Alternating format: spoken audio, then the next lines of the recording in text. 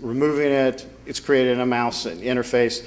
Uh, you can create a mouse to sit there and go one by one pixel in a circle, somewhere just off the screen or just on the bottom. It's not going to interfere with anything, but it will prevent screensavers from coming on. It'll keep everything active for the user not to run.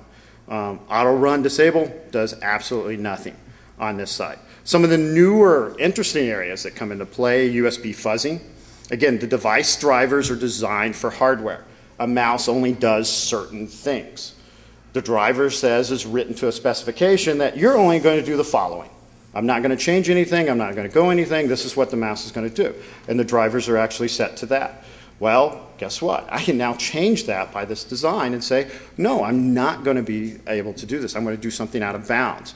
Uh, and this becomes some of the ability to actually fuzz the devices using uh, a simple interface. And again, blue screens are really easy to do in generating uh, this function. And you, can, you could go generate any of the HID functions that are actually there, and you discover that most of the drivers are not very well written.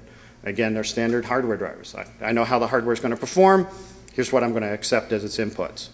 Uh, and figuring the hardware is going to do the bound checking uh, for a lot of this. Um, USB 3.0 uh, supports DMA, direct memory access.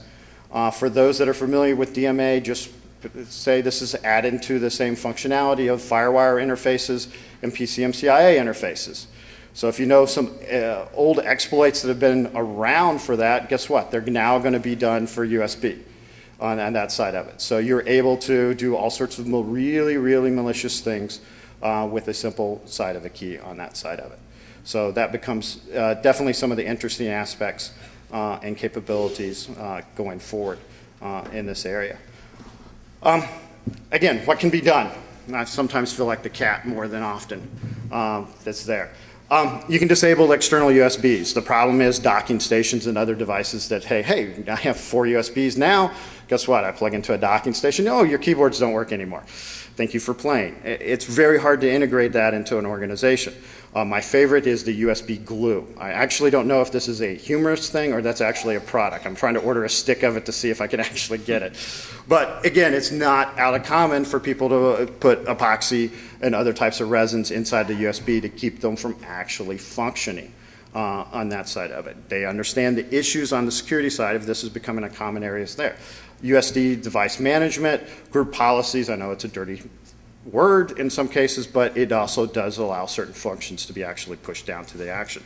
Um, we also talked about third-party applications. It's not a really um, difficult to write a trivial program that would actually say, hey, you're not allowed to have two keyboards plugged into there at one time. You have, or you have one single HID device. Why do you need two?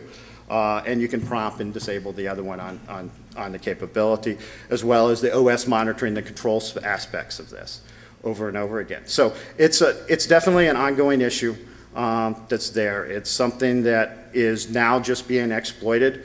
I've seen about three other talks based upon the same thing. So I'm thinking they got Jason's card it's about the same time we did. Uh, and again, it's a new frontier in regards to this. Uh, it becomes a very easy, uh, you never thought about somebody walking around with a keyboard and plugging it into systems and running commands. Now you've got, all I have to do is plug this one device in, and when it's done, unplug it and let it run.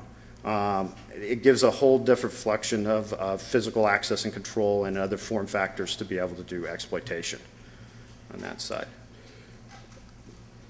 That's all I have. I've got about five minutes for questions. Yes? No, because, well, you can do it through GPO or some of the other policies that are there, but all, a lot of the human interface drivers are already preloaded into the application that's actually there. And so it just recognizes it as another USB keyboard uh, in that aspect of it. So it's really difficult to, to perform that function unless you create policy to say, don't load these drivers in that subset of that. But you'd, you'd affect all USB keyboards if you were to do that. You can disable USB keyboard, but you lose them all at once.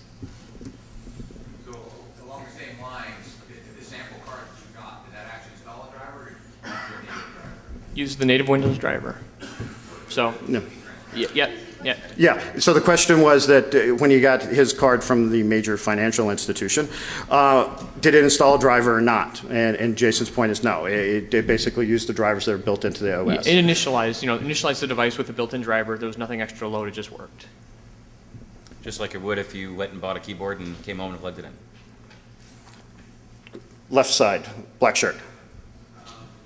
This is kind of a two-part question. Um, how, well, how do you detect what OS is running using this model? Uh, so, Oh, question, uh, go ahead, repeat I'm the sorry, question. so to repeat the question, how do you, how could you detect what OS is running? Yeah, or, or you mentioned being able to distinguish between Vista, XP, and things like that. Is there any conceivable way of doing that without having to load your additional drivers just using what's there? Right. So again, proof of concept. We didn't actually, we weren't able to get that far with the limited time that we had to, to, to put everything together. But um, what what I was what we were conceptualizing is the ability of being able to perhaps load if you could leverage it as another driver, or in fact, perhaps try to take advantage of the fact if auto run is not disabled to run something just to simply check and then call a specific routine that would then load the the the, uh, the HID driver and then would you know run a specific call or spe- the specific function within the code that that was written for that US, uh, OS. Like for example, if it was XP, you wouldn't want the extra clicks for UAC because you know that it's not there. So you would have to, you, the strategy would be you would blindly attempt to see if it detects a mass storage device and act on it. Exactly. Active code identifies the, what you have and then feed that back through some other driver that it loads to the device and then let it keep going. Correct. Yes. Uh, it's it's kind of complex and there's a lot of nested logic in there, but technically possible, we think. Yeah, and again, a lot of this is just, you're, you're streaming inf- input information off of that. So again, you, uh, to, to Paul's point, you could see about uh, potentially a status of doing something back onto the driver uh, to load something else uh, in the form factor. You, you said it was two parts, or is that both? Okay. Uh, there's one other question. Oh, um, yeah,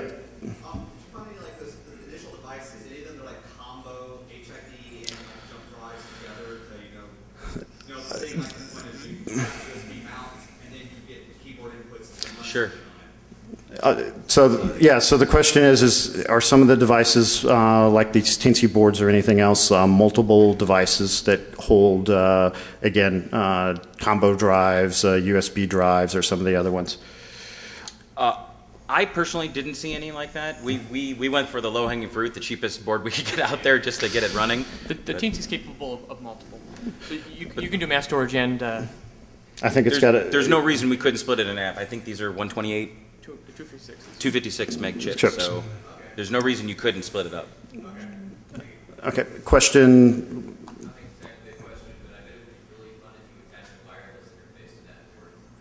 Um, you could do wireless, you could do Ethernet, you can do Ethernet, you can do a lot of other uh, functionality built into that. Again, a lot of, anything that's based on USB now becomes uh, prior uh, functions. A- Again, other things such as USB hubs operate very strangely when another USB hub's plugged in, and how do they find which one's connected to where?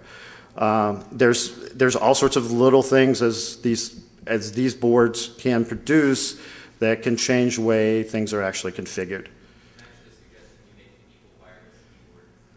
Uh, uh, Next oh, year. Next, Next year, year. yeah. One of the, one of the issues about two years ago, um, they did an exploit for wireless keyboards based upon um, the Bluetooth, and again, it uses Bluetooth. It uses the um, L2CAP interface to go back and forth, but under that L2CAP interface is the HID that's actually plugged into. So it becomes the same functionality uh, and capability that's there. Uh, one more question? Anyone? Anyone? Going once, going twice? Sold. Okay, thank you very much for your time. Appreciate it.